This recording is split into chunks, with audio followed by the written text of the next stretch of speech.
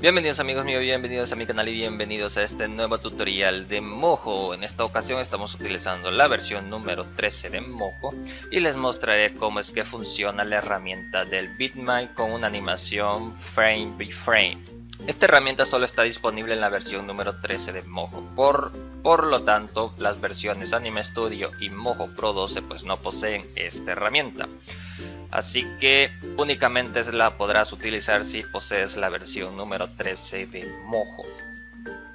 Muy bien, para empezar a crear animaciones frame by frame con la herramienta del Bitman, nos vamos a crear un grupo de fotograma por fotograma.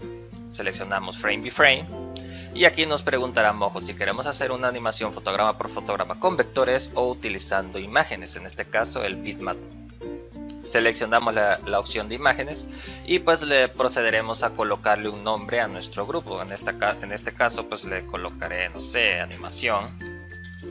Y podemos modificar la altura y anchura de nuestra animación así como también la resolución de esta.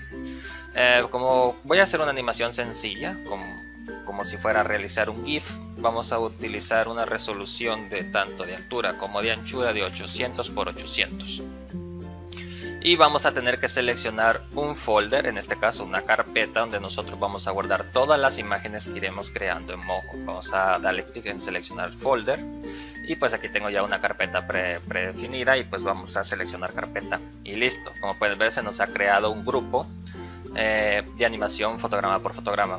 Y en el apartado de herramientas pues ya tenemos la opción del bitmap activado. Tenemos el pincel, el bote de pintura y el borrador. Seleccionando el pincel, pues nosotros podemos escoger el pincel que más nos parezca para realizar nuestra animación. Tenemos diferentes tipos de pinceles y pues tú elegirás el que más te convenga para tu animación.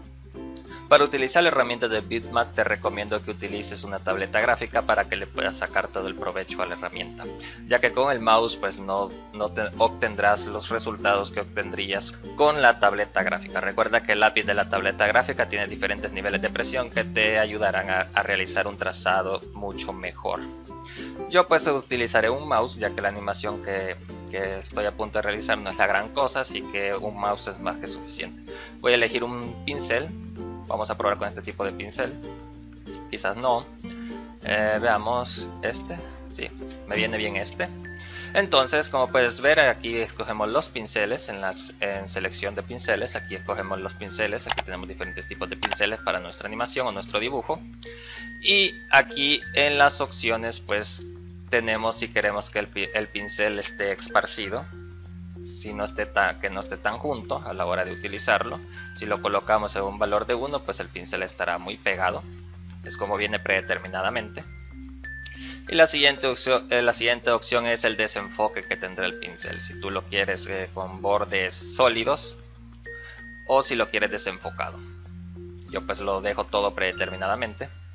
Y pues eh, aquí le cambiamos el color al pincel. Yo te recomiendo que a la hora de estar dibujando con el pincel, pues tengas aquí dos colores bases, de todos modos estos, colores que tienes en el panel de estilo no los estarás ocupando, únicamente ocuparás este, este color, así que utilices los colores bases en el panel de estilo para que con el cuenta solo estés seleccionando el color que quieres. Por ejemplo voy a seleccionar eh, los colores de mi, de, mi boceto o de, de lo que voy a animar, por ejemplo amarillo y no sé, algo un poco más algo así, no sé. Estos colores voy a hacer una animación sencilla. Eh, en este apartado podemos seleccionar el tamaño de nuestro pincel. Entre más grande el valor, más grande el pincel. Aquí nosotros podemos aumentar o disminuir el pincel. Y aquí podemos aumentar o disminuir la opacidad. Como puedes ver, mientras muevo la barrita de la opacidad, pues el color se hace más, eh, más transparente. Ya como lo tenemos al 100%. En los modos tenemos los modos de fusión, te recomiendo utilizarlo en normal. Estos, estos diferentes modos será la manera en que los colores que dibujes encima pues irán tratando de fusionar y pues pueden eh, crear diferentes combinaciones de colores con él. Por ejemplo, si yo, si yo utilizo este color rojo, pinto, utilizo el modo multiplicar y cambio el color, por ejemplo, no sé, verde. Como puedes ver se hizo negro, es por el modo multiplicar. Si yo el modo lo cambio a normal, pinto, ya, ya coloreo de, de, color verde. Así que ten cuidado como, como tienes activado estos modos. Yo te recomiendo el modo normal, ya que obtendrás el, el color deseado a la hora de estar dibujando. Esta opción, la siguiente opción, es para bloquear el dibujo en zonas que no estén, eh, digamos, dibujadas, por decirlo así, por ejemplo. Con la opción desactivada, con esta opción desactivada yo puedo dibujar libremente en todo mi espacio de trabajo. Aquí ya no puedo eh, seguir dibujando porque yo le dije que quería una dimensión de 800 por 800. Ahora bien, si yo bloqueo esto, como puedes ver en los espacios que no he dibujado nada, pues no puedo dibujar o no puedo colorear. Si yo cambio el color, podrás notar que con esta opción activada, es como que me creo una máscara que únicamente me permitirá colorear o dibujar en lo que ya haya hecho anteriormente. Es como que nos permite, es como si tuviéramos una máscara que nos facilita a la hora de crear sombras o efectos en nuestros dibujos. Si yo la desactivo puedo dibujar o colorear en el espacio que yo desee. Muy bien, vamos a dejar todo como estaba. El siguiente botón es para restablecer todo predeterminadamente. Y muy bien, aquí tenemos el pincel, el cubo de pintura y el borrador. Lo único que necesitamos para utilizar esta herramienta. Muy bien, pues vamos a, vamos a empezar a dibujar algo sencillo, una animación frame by frame. Vamos a seleccionar el color. En esta capa que viene por defecto, pues le voy a crear un fondo para que mi animación, mi animación se pueda ver. Vamos a restablecer este color y vamos a empezar con la animación. Manteniendo el grupo, el, grupo que contiene las imágenes para realizar el fotograma por fotograma. Como pueden ver se nos ha habilitado también este pequeño apartado. El primer botón es para crear un nuevo fotograma. El segundo es para borrar un fotograma existente y el tercero es para copiar un fotograma para no obtenerlo que dibujar nuevamente. Para realizar este tipo de animaciones les recomiendo que activen el papel cebolla porque este nos ayudará a visualizar el fotograma anterior para nosotros podernos basar y seguir realizando nuestra animación. Muy bien, vamos a empezar. Voy a seleccionar el pincel. El tamaño del pincel lo voy a dejar en 11. Y pues voy a proceder a dibujar el primer fotograma. Nos vamos al fotograma número 1 y pulsamos en el botón crear nuevo fotograma. Ahora sí ya podemos dibujar. Voy a dibujar algo, no sé. Algo así.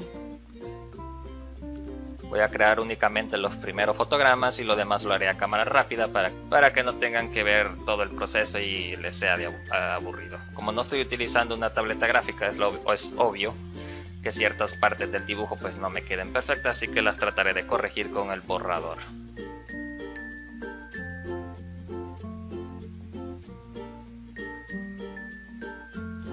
Eh, más o menos así. Entonces, una vez que tenga el primer frame, como puedes ver, este es el fondo, una vez que tenga el primer frame, vamos a avanzar de una cierta cantidad de fotogramas dependiendo de la animación. En mi caso, pues avanzaré tres fotogramas. 1, 2, 3. Creo un nuevo fotograma y gracias al papel cebolla puedo ver el fotograma anterior para así basarme en ese dibujo para crear el siguiente voy a desactivar el fondo porque con el fondo pues no me permite ver el fotograma anterior. Así que voy a proceder a dibujar la, siguiente forma de mi animación. Eh, por ejemplo algo así. Puedo utilizar el cubo de pintura para rellenar, pero como pueden ver, pues el cubo de pintura deja esos espacios en blanco que al final de cuentas terminaré rellenando con el pincel.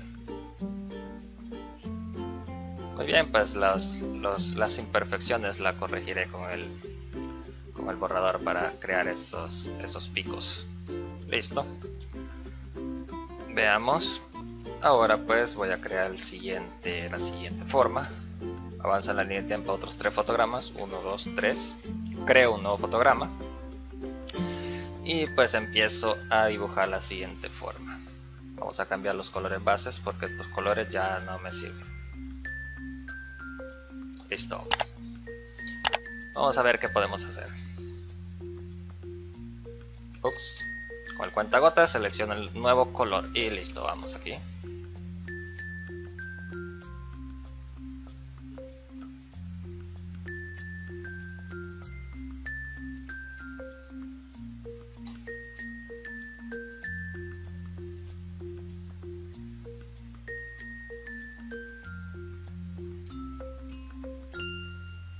Y es aquí donde utilizaremos la opción de bloqueo a la hora de dibujar. La seleccionamos, elegimos el nuevo color y pues ya podemos dibujar libremente en nuestra forma sin miedo a estropearla. Voy a hacer una especie de explosión, aunque no garantizo que me quede bien, pero vamos a intentarlo.